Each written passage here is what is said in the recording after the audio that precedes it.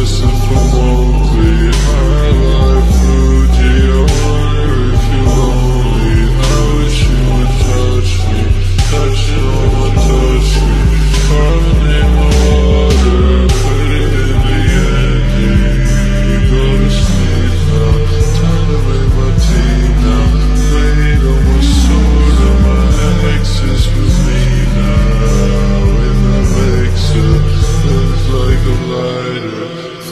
thousand points do I look like a lion?